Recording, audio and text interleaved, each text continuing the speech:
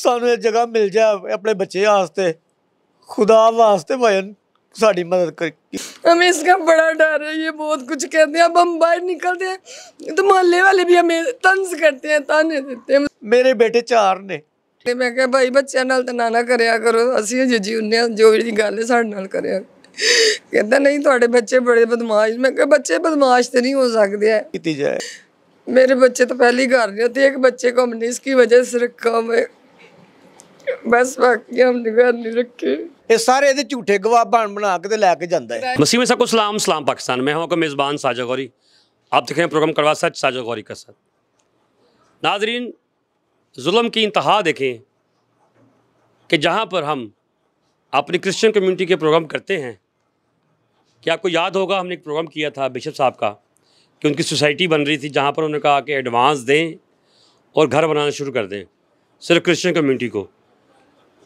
और आहिस्ता आहिस्ता आप किस्तों में पैसे देते रहें? और इस तरह के वाक़ है। चंदा किला गुजरावाला में हुआ है। मुतासरीन मेरे साथ मौजूद हैं।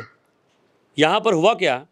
एक टाउन है, मरियम सदीका टाउन यहाँ पर 2013 में इन फैमिली ने 10 लाख रुपए में जगह ली और एडवांस लाख रुपया देकर एक प्रॉपर्टी डीलर जो है, जो कि क्रिश्चियन था, बल्कि है उसको दस लाख रुपये दे के दस हज़ार एडवांस पर मंथ देना शुरू कर दिया और घर आहिस्ता आहिस्ता बनाना शुरू कर दिया। इनको सिर्फ़ यही पता है कि दस हज़ार रुपये जो मंथली हम दे रहे हैं वो है और दस लाख रुपया जो प्रॉपर्टी का जो और एक लाख रुपये एडवांस। लेकिन आहिस्ता आहिस्ता होता क्या गया कि उस बंदे ने जिसका नाम रफाकत गिल है, वो एक प्रॉपर्टी डीलर है, उसने क्या किया? उसने पहले इनको कहा कि अब ये प्रॉपर्टी तेरह लाख की आपको मिलेगी और सारे पैसे जो आपके चले गए हैं वो ख़त्म हो गए। क्यों? कि उनकी जो है दो इंस्टॉलमेंट इनकी तरफ़ से शॉर्ट होगी। उसके बाद होता क्या है?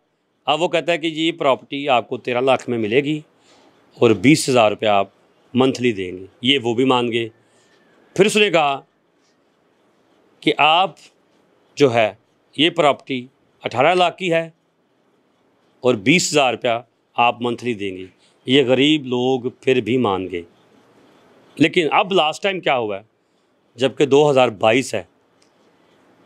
उसने क्या कहा? उसने कहा कि मैंने एक स्टाम कर लिया है।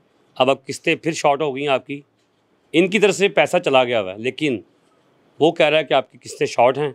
अब आप किराएदार बन के यहाँ पर रहेंगे और मैं आपके ऊपर मैंने केस कर दिया हुआ है और मैं इस प्रॉपर्टी के अंदर ही एक दीवार खड़ी कर दूँगा।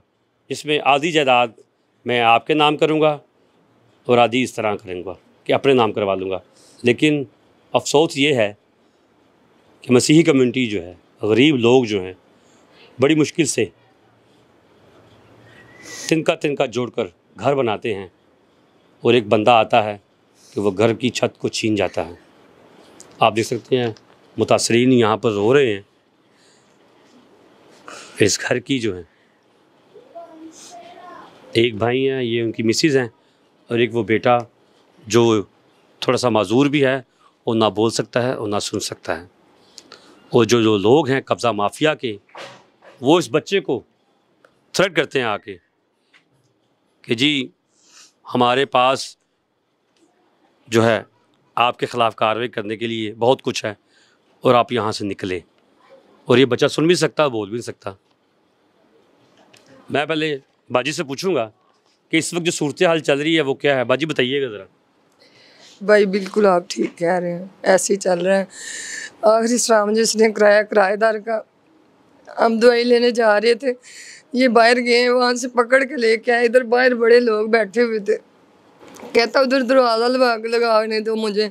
मैंने कहा, ऐसा तो नहीं होता। हमको किराएदार तो नहीं कहता आप किराएदार है। मैंने स्टाम से आपके ऊपर, आपके सामने अंगूठा लगवाया सैन आपने खुद की है। मैंने कहा, भाई, हम क्या जानते हम पढ़े थोड़ा है। हमें क्या पता है आप क्या कर रहे हैं? लेकिन दरवाज़ा नहीं लग सकता। आप हमें बेशक मार दो, जो भी है। मेरे बच्चे तो पहले ही घर नहीं होते। एक बच्चे को हमने इसकी वजह से रखा हुआ बस बाकी हम निगाह नहीं रखे। हमें खुदा के वास्ते हमें इनसे निजात दिलाए और हमें सेव कर। हमें इसका बड़ा डर है, ये बहुत कुछ कहते हैं। अब हम बाहर निकलते हैं तो मोहल्ले वाले भी हमें तंज करते हैं, ताने देते हैं, मज़ाक करते हैं। खुदा के लिए भाई हमें सेव कर लो, अगर कर सकते हैं तो। नाजरीन आप देख सकते हैं कि एक बहन की दुहाई उन्होंने कहा कि बाकी बच्चे यहाँ पर नहीं हैं, लेकिन हमने एक बच्चा यहाँ पर रखा है और उसी को भी आकर थ्रेड देते हैं कि हम आपको ये चीज़ कर देंगे, इस तरह पकड़ लेंगे, इस तरह वहाँ पर लेके जाएँगे। और ये भी मजदूरी कर रहे हैं और ये भी मजदूरी कर रहे हैं। यानी कि मजदूरी करके तिनका तिनका जोड़ के इन्होंने ये आशियाना बनाया अपना और उस आशियाने को तोड़ने के लिए सरेआम दंदनाते फिर रहे हैं। भाई इस वक्त आपको पता है कि आपके ऊपर केस चल रहे हैं तो कि आपको पता ही नहीं था?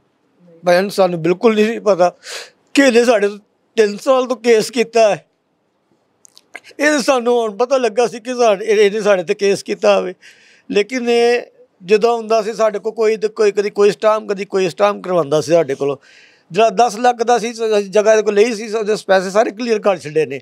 ਲੇਕਿਨ ਇਹਨੇ ਹੁਣ ਫਿਰ ਸਾਡੇ ਤੇ ਕੇਸ ਕਰ ਛੱਡਿਆ। ਹੁਣ ਅਸੀਂ ਬਾਰ-ਬਾਰ ਇਹ ਸਾਡੇ ਤੇ ਕੇਸ ਕਰਦਾ ਜਾਏਗਾ ਜਿਹਨੂੰ ਪੈਸੇ ਦਿੰਦੇ ਰਹਾਂਗੇ ਅਸੀਂ, ਕਿੱਥੋਂ ਦੇਵਾਂਗੇ ਅਸੀਂ? ਮਜ਼ਦੂਰ ਬੰਦੇ ਆ। ਅੱਛਾ, ਤੁਹਾਡੇ ਕੋਲ ਕੋਈ ਸੰਮਨ ਵੀ ਨਹੀਂ ਆਏ? ਕੋਰਟ ਵੱਲੋਂ। ਨਹੀਂ ਭਾਜਨ।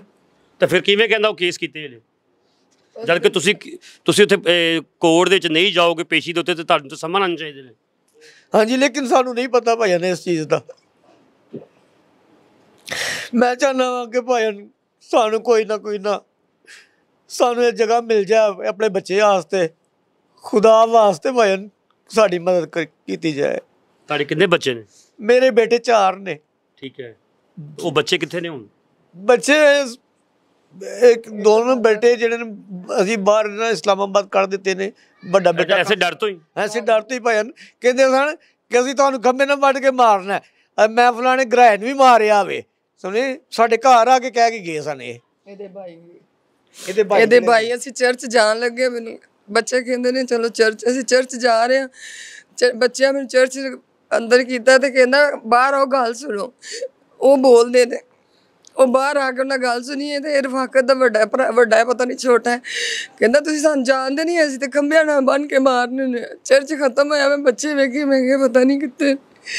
ਬੱਚਿਆਂ ਨੇ ਪੁੱਛਿਆ ਆਂਦਾ ਮਿਓ ਨਾ ਇੰਜਨ ਸਾਨੂੰ ਕਿਹਾ, ਇੱਕ ਬਾਬਾ ਇੱਥੇ ਕਿ ਸਾਡਾ ਉਹਨਾਂ ਵੀ ਨਾਲ ਸੀ। ਕਹਿੰਦਾ, ਤੁਹਾਨੂੰ ਨਹੀਂ ਪਤਾ ਹੈ ਇਹ ਬੜੇ ਸਖਤ ਲੋਕ ਨੇ। ਮੈਂ ਕਿਹਾ, ਭਾਈ, ਬੱਚਿਆਂ ਨਾਲ ਤਾਂ ਨਾ ਨਾ ਕਰਿਆ ਕਰੋ। ਅਸੀਂ ਅਜੇ ਜਿਉਂਦੇ ਹਾਂ, ਜੋ ਵੀ ਗੱਲ ਹੈ, ਸਾਡੇ ਨਾਲ ਕਰਿਆ ਕਹਿੰਦਾ ਨਹੀਂ ਤੁਹਾਡੇ ਬੱਚੇ ਬੜੇ ਬਦਮਾਸ਼ ਮੈਂ ਕਿਹਾ ਬੱਚੇ ਬਦਮਾਸ਼ ਤੇ ਨਹੀਂ ਹੋ ਸਕਦੇ ਹੈ यानी कि अपनी प्रॉपर्टी को लेने के लिए ही जद्दोजहद ये कर रहे हैं अपने बच्चों को बचा के यहाँ से भेज दिया ਫਿਰ ਭਜਨ ਇਸ ਗਲੀ 'ਚ ਜਿੰਨੇ ਘਰ ਨੇ ਸਾਰੇ ਇਹਨਾਂ ਦੇ ਹੀ ਨੇ ਇਹ ਜਦੋਂ ਕਸਾ ਜਗ੍ਹਾ ਲਈ ਸੀ ਇਹ ਸਾਰੇ ਇਹਦੇ ਝੂਠੇ ਗਵਾਹ ਬਣ ਬਣਾ ਕੇ ਤੇ ਲੈ ਕੇ ਜਾਂਦਾ ਹੈ ਕਿਰਾਏਦਾਰ ਨੇ ਉਹ ਹਾਂਜੀ ਸਾਰੇ ਕਿਰਾਏਦਾਰ ਨੇ ਇਹ ਲੋਕ ਤੇ ਸਾਡੇ ਖਿਲਾਫ ਗੱਲਾਂ ਕਰਦੇ ਨੇ ਤੁਹਾਨੂੰ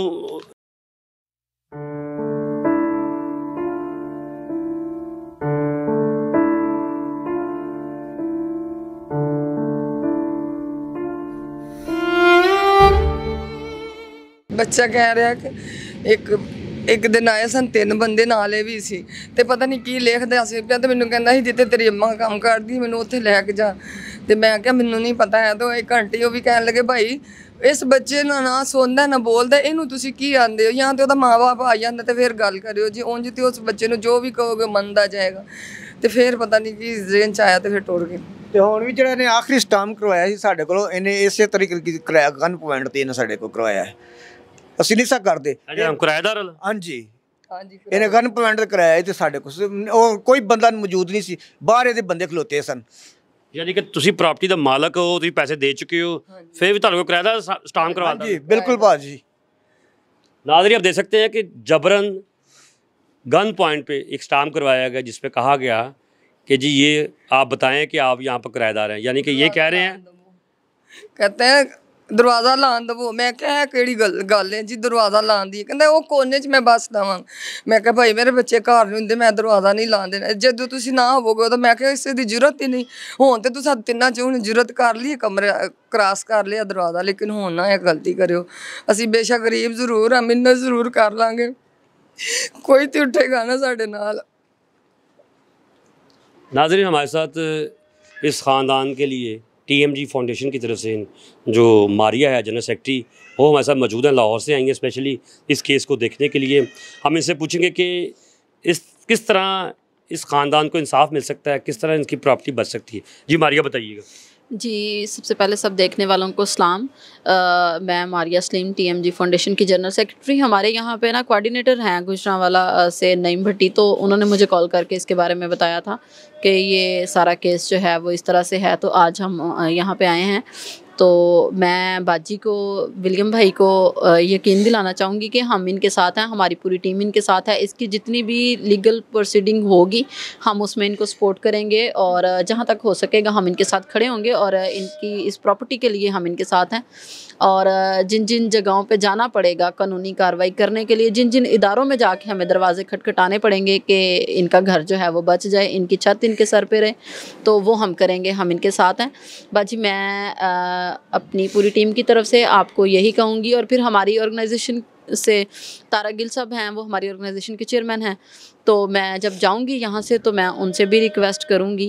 अ, मेरी पहले भी इस बारे में बात हो चुकी है उनसे लेकिन मैं यहाँ पे आके तो इनके बारे में और जानना चाहती थी कुछ चीज़ें थी जिनको मैं देखना चाहती थी वो मैंने देखी हैं। अभी मैं जाऊँगी तो मैं उनसे भी बात करूँगी और फिर हम हमारी पूरी टीम इनके लिए जो है ना वो आप देख सकती है कि सरेआम प्रॉपर्टी इनकी इन्होंने पैसे दे चुके हुए हैं लेकिन फिर भी सरेआम इनको धमकाया जा रहा है गन पॉइंट पे स्टाम की करवाया गया है। तो क्या ये धंधनाते फिर रहे हैं गुंडागर्दी कर रहे हैं? कोई इनको पूछने वाला कोई नहीं है। आ, सर कानून यहाँ पे मौजूद है लेकिन आपने ये भी देखा है कि पाकिस्तान में जिसकी लाठी उसकी भैंस तो यहाँ पे ये चीज़ें तो चलती ही हैं। आप भी देख रहे हैं, हम इसके बारे में जितना भी बोलते हैं, जितना कर रहे हैं, आपको भी पता है, कहीं ना कहीं से कोई ना कोई ऐसे इश्यूज़ तो निकलते रहते हैं, लेकिन कानून मौजूद है यहाँ पे। और जब कानून मौजूद है तो हमें उम्मीद है कि हमारे इदारे जो हैं, वो सच का साथ देंगे और इन्हें सपोर्ट करेंगे।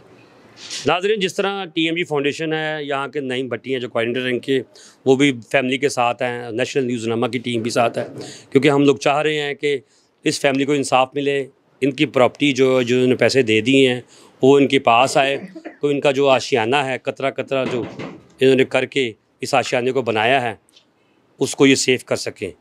तो नाजरीन, मैं हुकूमत वक्त से, यहाँ के डी पी ओ से कमिश्नर से, ये रिक्वेस्ट करूँगा खुदारा इस फैमिली को इंसाफ मिले और इस फैमिली के साथ जो ज़्यादती की गई है, उसको प्रॉपर देखा जाए और कानूनी कार्रवाई जो हो रही है, जो केस चल रहे हैं, उसकी तरफ़ से इनको इंसाफ मिले और इनकी प्रॉपर्टी जो है, वो इनके हवाले की जाए और इज़्ज़त से इस प्रॉपर्टी में अपनी फैमिली के साथ रह सकें। फिर मिलेंगे नए टॉपिक के साथ। मुझे और कैमरामैन तारक पेरा को इजाज़त दीजिए। खुदा हाफिज़।